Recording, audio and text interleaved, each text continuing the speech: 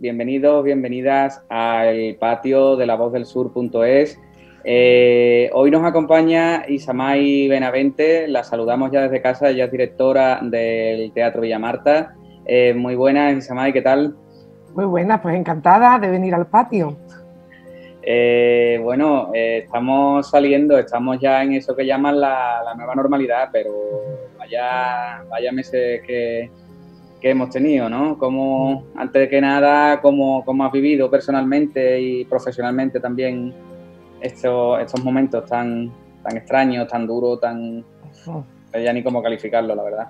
Yo creo que como todo el mundo, eh, al principio en shock, yo creo que al principio como que no nos lo acabábamos de creer.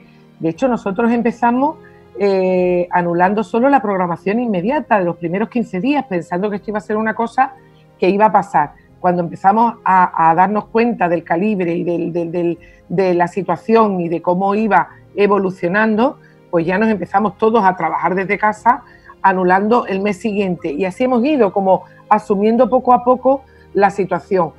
Ya después de Semana Santa prácticamente nos dimos cuenta que, el tema era muy serio, muy, muy serio, que no nos iba a permitir mantener la programación ni el teatro abierto en primavera, la, producción, por ejemplo, de ópera que teníamos en junio estaba en Canarias, era una producción italiana, estaba en Canarias.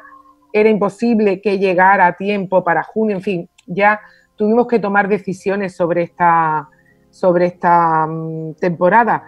Y para nosotros ha sido un poco, para todo el equipo, ¿no? Ha sido un shock, yo creo que para todos los teatros, bueno, ha sido para todo el mundo, lógicamente, pero, pero en el mundo cultural estábamos perplejos, porque además si algo tiene la cultura es que trabaja con mucha antelación. Es decir, nosotros ya estamos hablando con compañías para dentro de un año, tengo cantantes para dentro de dos años y, claro, de repente esa incertidumbre, trabajar con la incertidumbre, eso ha sido todo un aprendizaje, vamos.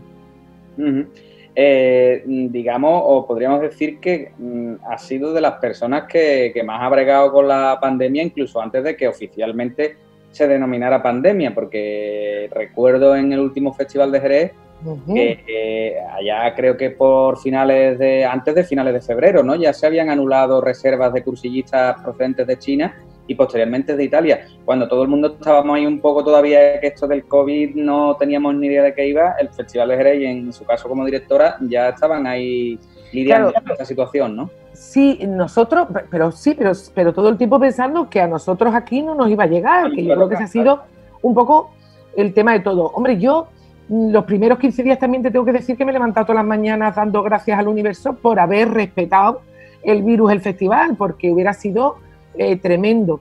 Y afortunadamente, afortunadamente hemos tenido la grandísima suerte de que no ha pasado nada. Ningún maestro, ningún artista que sepamos, nadie se ha contagiado en Jerez en el festival y hubiera sido un foco, imagínate, con gente de todo el mundo, hubiera sido relativamente fácil que hubiera surgido algún contagio, algún foco. Eh, nosotros vimos que los de China se anulaban, pero pensamos que era una cosa que estaba muy lejana y por supuesto nunca me planteé eh, suspender el festival. Cuando ya empieza el tema a acercarse en Italia, nosotros estábamos a punto de arrancar el festival, cuando empezaron a tomarse ya el festival en marcha, eh, claro, eh, una se plantea, se suspende, no se suspende, pero era en ese momento, con los datos que había en la mano, era inviable eh, suspender. Suspender un festival como el de Jerez en plena marcha era dejar sin contenido un montón de gente que había hecho un esfuerzo de vuelo, de, para estar aquí en Jerez con nosotros, ¿no? De compañías que teníamos contratado. Hubiera sido un, gran, una gran ruina también para el teatro, ¿no? Por tener que devolver todas las localidades, con los compromisos ya adquiridos con los artistas, en fin, hubiera sido muy difícil. Así que yo agradezco al universo que nos haya dejado, nos haya respetado el virus, el festival, que lo hayamos podido terminar y sobre todo también eh, para los propios artistas, porque yo creo que ha sido el último gran festival flamenco que se ha podido celebrar. Eh, el otro día vimos ya, de hecho, que se presentaba la Bienal y, bueno, se quita hasta de la programación el Maestranza, ¿no? El gran escenario de, la Bienal desaparece. O sea, ¿Hasta qué punto, Isamay, todo esto ha revolucionado todo y todo va a tener que reinventarse?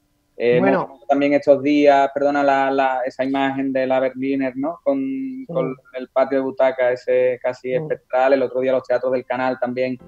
Eh, mm, eh, es complicado, ¿no? ¿Cómo, ¿Cómo lo estáis planteando ahí? Mira, aprovechando que me cuentas eso de esas imágenes, a mí esas imágenes, no, hemos comentado en otros teatros, no nos han hecho ningún bien, porque ahora todo el mundo se piensa que todo va a estar así, y esas eran imágenes de un momento muy determinado del periodo de desescalada, donde los aforos eran muy limitados. Ya afortunadamente eh, tenemos, tenemos el último decreto de la Junta que salió el viernes pasado para este periodo ya de nueva normalidad, que es una palabra, una expresión que, aborrezco, eh, pero eh, nos permiten ya el 65% del aforo y la intención, o por lo menos lo que nos han trasladado a los teatros andaluces, es que eso se va a ir revisando conforme vaya evolucionando las fechas y según vaya, por supuesto, desarrollándose todo el tema de la desescalada. Si todo va bien, nosotros pretendemos o aspiramos a tener en otoño el 100% del aforo disponible. Eso sí, con un montón de protocolos de seguridad y de medidas de seguridad. La mascarilla va a ser obligatorio, está siendo obligatorio en todos los espacios cerrados y vamos a tener un protocolo estricto de entrada, salida mm, escalonada del teatro, eh, por supuesto el gel hidroalcohólico, la toma de temperatura para entrar en el teatro, en fin, un montón de medidas que yo espero, espero, espero que hagan del teatro un espacio muy seguro y que dé mucha tranquilidad a los espectadores. Y yo creo que esto ha venido por lo menos para quedarse durante un tiempo, es decir, que nos tendremos que habituar, igual que vamos a hacer la compra con mascarilla, pues a disfrutar de la cultura con mascarilla, porque lo que no podemos es renunciar a nuestra vida por no llevar mascarilla, es lo que pienso. Y nos ha obligado a todos los, los programadores a reinventarnos y sobre todo a repensar un poco las cosas. Eh, me hablabas del Festival de Jerez. Bueno, yo estoy empezando, yo, tenía una idea del, año que viene del festival que por supuesto he puesto en cuestionamiento total. Eh, el Festival de Jerez, y lo digo como una cosa positiva, se sustenta en más de un 60% de la taquilla y de los cursos. Yo tengo muchas dudas, muchas incógnitas sobre cómo va a reaccionar el público extranjero este año, si va a seguir viniendo masivamente o se va a retrotraer un poquito la demanda de cursos y, eso afecta a la programación que yo puedo hacer. Yo no puedo diseñar un festival. A la, propia filosofía del festival, ¿no? Por supuesto, yo no puedo hacer un festival como si no pasara nada, cuando a lo mejor la gente que viene es la mitad, para empezar, porque no sería sostenible económicamente, ¿no? Entonces, tenemos que repensar un poquito todos los programas, las cosas, la propia programación, ¿no? De otoño, que creo que llamamos por la cuarta versión de esa misma programación nosotros teníamos unas cosas ya mm, eh, cerradas en otoño. Eh, luego hubo que recolocar cosas de primavera para otoño. Y ahora además, sobre eso que ya estaba, con los límites de aforo, pues ahora estoy viendo, yo, bueno, mm, ya te adelanto, tenía cerrado a Poveda, tenía cerradas cosas que venían jugando con el porcentaje de taquilla y que no sabemos ahora si se van a poder mantener con esos aforos más reducidos. Claro, porque por el tema de la rentabilidad, ¿no? De ese, Efectivamente. teatro, ¿no? no, eso, eso le hemos trasladado a la consejería, que ha estado súper receptiva con nosotros, eh, con los teatros andaluces, que el tema del, aforo mm, lo que hace es que nos hace más dependientes de las ayudas y las ayudas van a ser más escasas porque las administraciones están ahora mismo desbordadas con las prioridades sociales y todo eso, ¿no?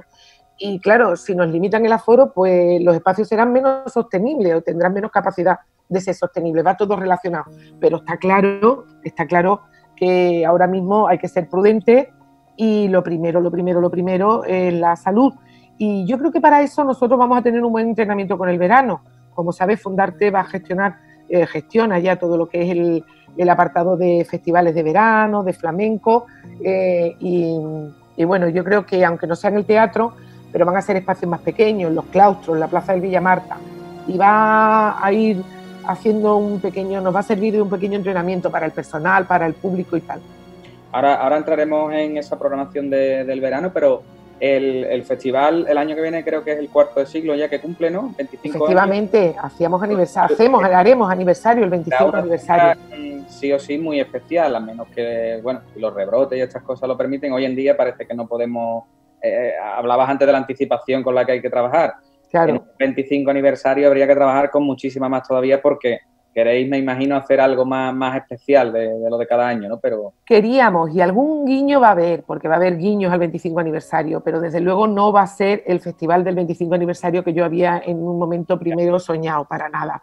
Para nada, porque la situación no lo permite y no lo va a permitir ni siquiera económicamente, que es lo fundamental. El festival es sostenible absolutamente económicamente, pero es sostenible por eso, porque viene muchísima gente de fuera y, este año yo tengo muchas, ya te digo, muchas dudas al respecto. No quiere decir que no vengan, yo creo que hay un público fiel y si todo va bien, es decir, si todo va como oh, avanzando, pues la gente más tarde, más temprano se decidirá.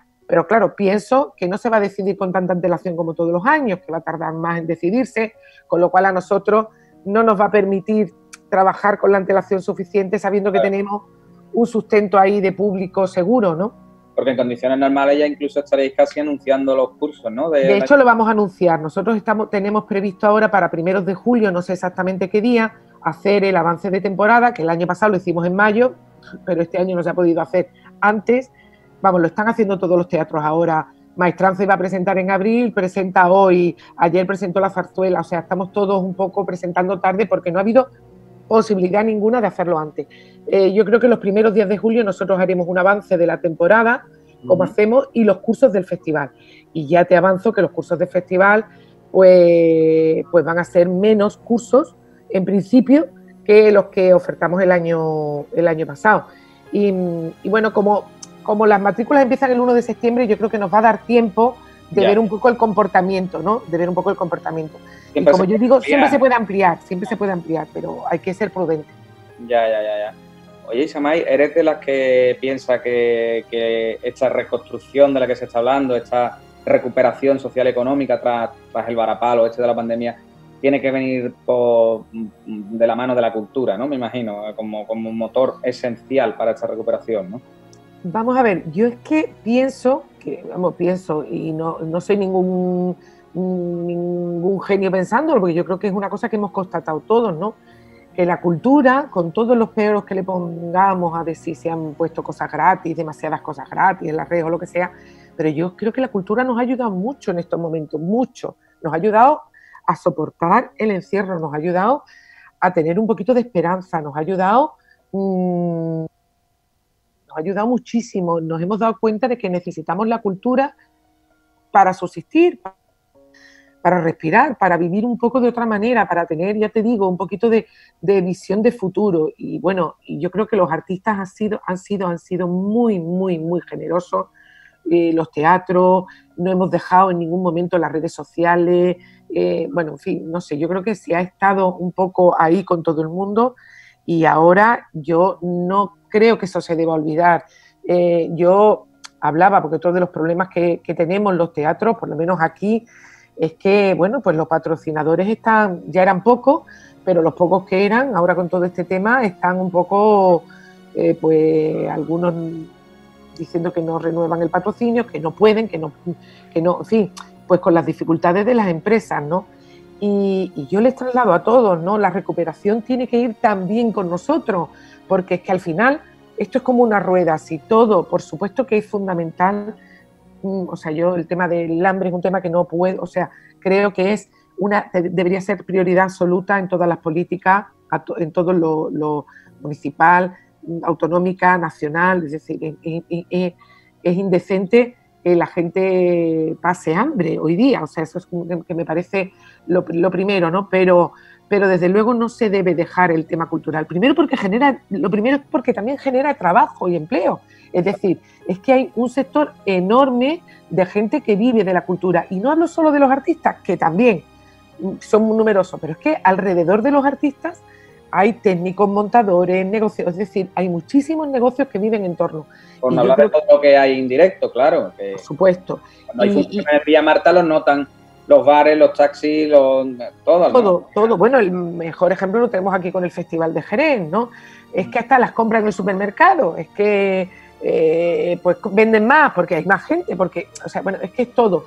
Y yo creo, creo, creo que no deberíamos, yo, eso es lo que le estoy trasladando a todos mis patrocinadores y tal, mira, mm, podemos ajustar, podemos, pero no podéis dejar de lado ahora mismo el tema cultural porque necesitamos salir todos juntos, necesitamos salir todos juntos y yo creo que la cultura tiene que jugar un papel de revulsivo, ¿no? De revulsivo. Yo espero, me, comentan algunos colegas que ya han empezado en teatros más pequeñitos, hablaba con, con Málaga el otro día, con el que no han empezado todavía en el Teatro Cervantes, pero sí en el Echegaray, y me comentaba que con aforos reducidos la gente se ha volcado.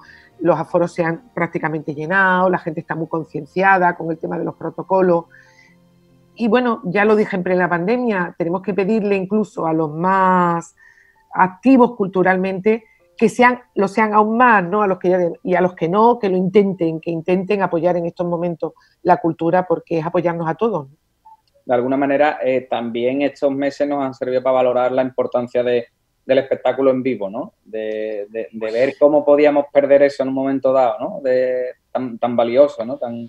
Mira, eh, Paco, fíjate, yo no soy un espectador inocente, cuando digo esto quiero decir que veo mucho habitualmente en directo, pero yo ya lo necesitaba, tengo mono. Me pasó la semana pasada, estuvieron unos días en el Teatro Ana Morales, eh, haciendo pruebas técnicas para su espectáculo que estrenara en la Bienal. Fue como un estreno, ¿no? Para ti, eh, ¿no? Bueno, no hizo nada, no es que no hizo ni siquiera, porque era más técnico, pero hizo un par de números y nos invitó a bajar a verlo. Bueno, casi lloro, me emocioné porque la vi bailar hacía, hacía eso desde que habíamos, desde el festival, que no había vuelto a ver nada en el escenario y me emocioné de una manera. Yo creo que necesitamos música. Yo no estoy dispuesta a renunciar a nada de eso.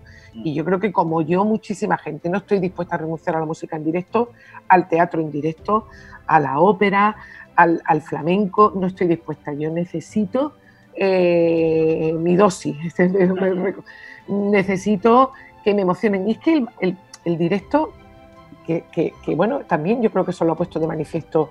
Yo llego un momento, yo empecé consumiendo muchísimas series, óperas por, por internet, conciertos y tal pero ya al final está un poco saturada, necesitaba, es, muy diferente verlo en la pantalla. Al final, Claro, y bueno, el, del teatro ya ni te digo, yo para mí el teatro verlo en una pantalla es dificilísimo, no puedo.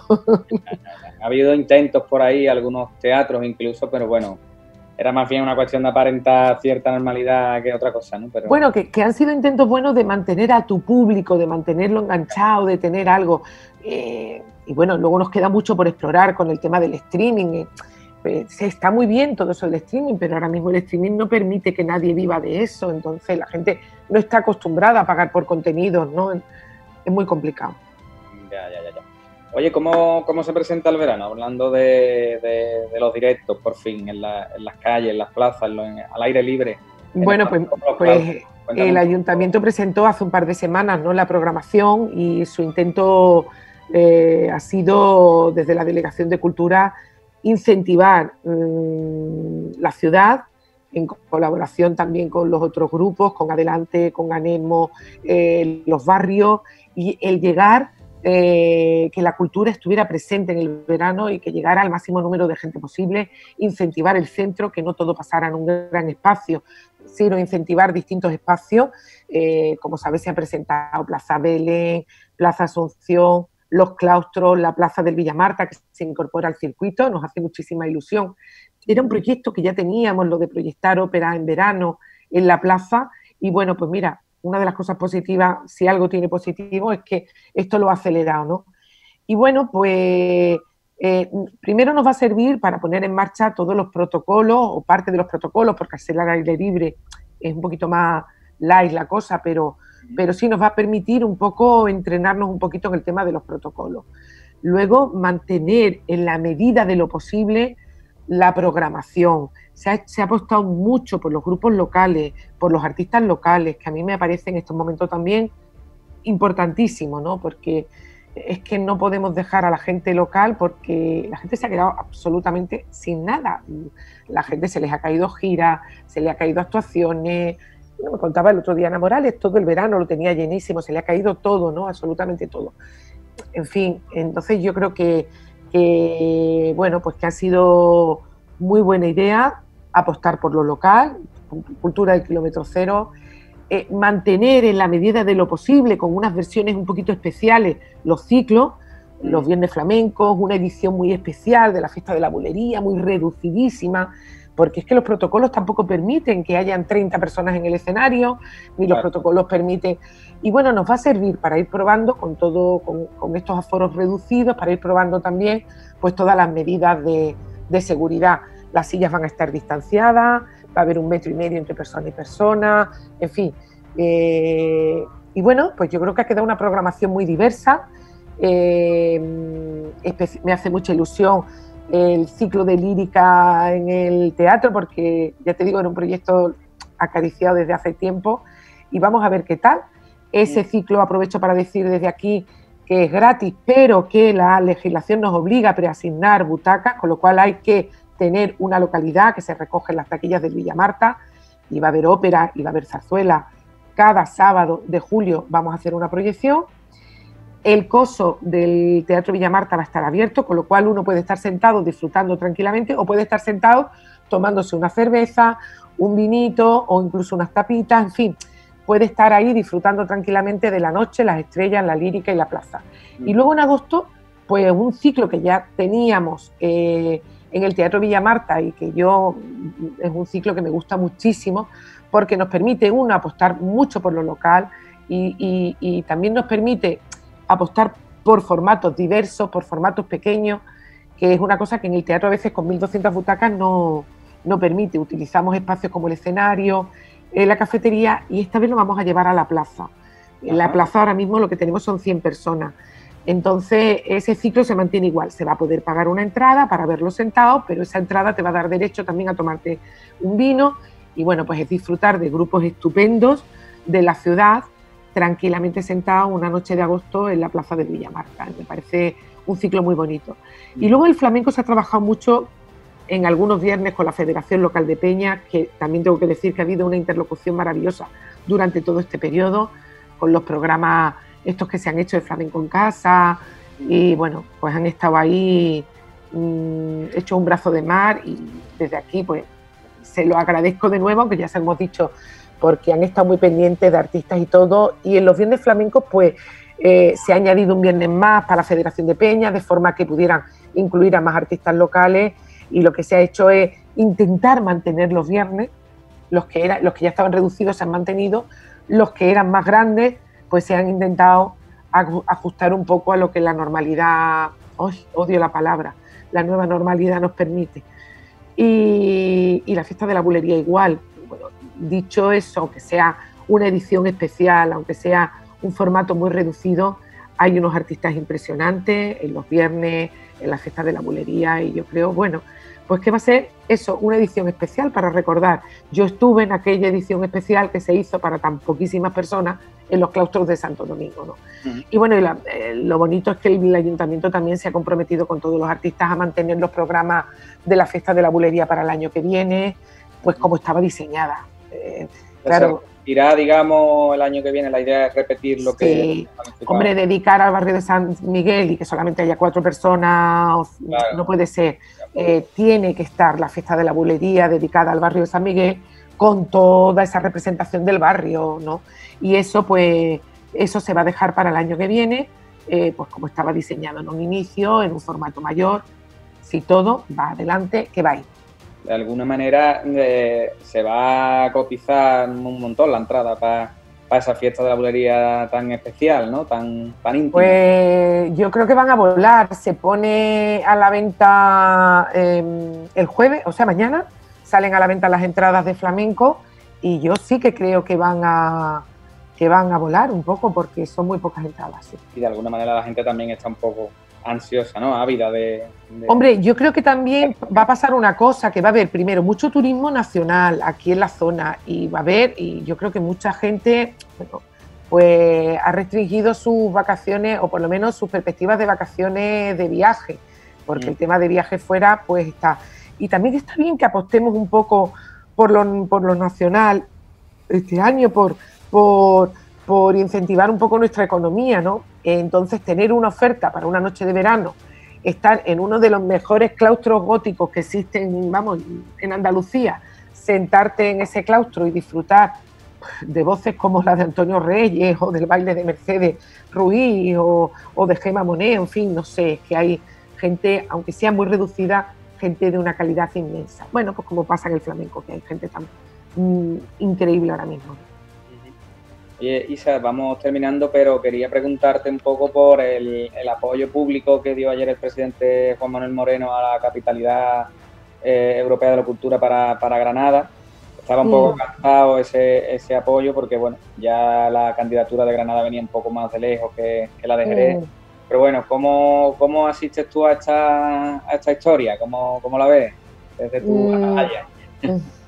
Bueno, no solo desde mi atalaya, ¿no? Porque de alguna manera pues ya estoy implicada también, ¿no? En todo el tema de la capitalidad. A ver, yo espero, espero, espero que no nos deje de manos el presidente de todos los andaluces. Y yo espero que Mm, está muy bien que apueste por Granada, pero no debería dejar una apuesta seria como la de Jerez. Y digo una apuesta seria porque yo creo que en Jerez se están dando pasos muy serios para hacer un buen proyecto y, aunque hayamos empezado un poquito más tarde, creo que se está avanzando bastante, bastante en el tema de la capitalidad. A mí me parece un tema que me ha ido ganando conforme ha ido pasando los días porque me parece que lo interesante es el proceso. No sé si llegaremos a conseguirlo o no, pero me parece que en el proceso ganamos tantas cosas como ciudad que, es un proyecto que no deberíamos abandonar, por supuesto.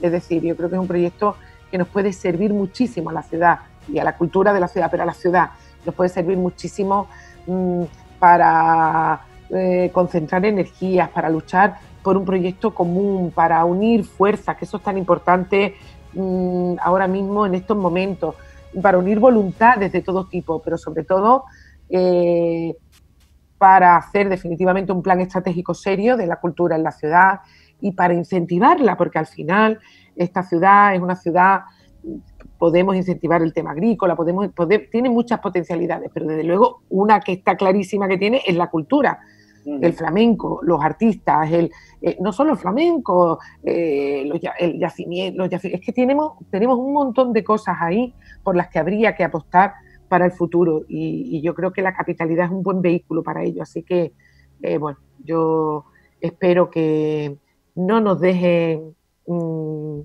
a Jerez de lado. Yo pienso que el presidente rectificará porque debe ser el presidente de todos los andaluces, incluidos los jerezanos, y, espero que no deje nuestro proyecto de, lado. Ahí hay otro, otro proyecto también importante para la ciudad, como es el Museo del Flamenco de Andalucía. Está ahí un poco, no se sabe muy bien, está pendiente de salir a licitación. Mm, Al lado está el Museo de las Flores, hay cierta polémica. Sí, eh, pero bueno, yo creo que se van dando los pasos, por lo que yo escucho y coste que yo estoy al margen un poco de, de esos proyectos pero a mí me parece que, bueno, van avanzando lentamente quizás, pero van avanzando en la línea. Hombre, yo creo que el objetivo es potentísimo y sobre todo le hace muchísima barria, muchísima falta al barrio, ¿no? Le hace muchísima falta incentivar esa zona histórica de la ciudad que está, mm, eh, bueno, pues muy deteriorada y que nos hace falta un revulsivo. Y yo creo que esos dos museos lo serían, ¿no? y por eso es lo que yo creo que está apostando el ayuntamiento y, deberíamos de estar todos a una porque, porque realmente nos hace falta eh, revolucionar un poco toda esa zona de San Mateo, que no se nos quede atrás, ¿no? Todo el centro histórico, vamos. Bueno, pues Isamay Benavente, directora del Teatro Villa Marta, esperemos que ese revulsivo venga de la mano de la cultura. Ojalá. gracias por, por haber estado aquí, por compartir este ratito con nosotros, los amigos del Patio de la Voz del Sur y esperamos vernos pronto. Pues genial, genial Paco, nos vemos pronto y, os mando un saludo a todos y enhorabuena por la iniciativa esta del patio, ¿eh? que os he pues seguido y me gusta muchísimo, la verdad. Pues muchas gracias, hasta pronto. Venga, hasta luego.